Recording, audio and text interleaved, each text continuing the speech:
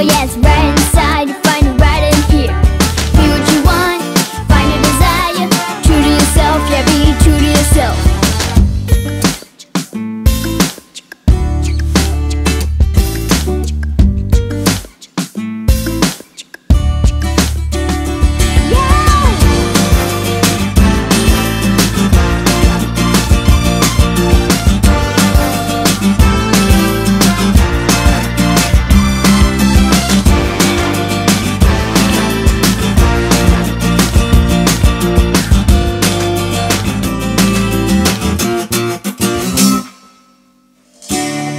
Imagination,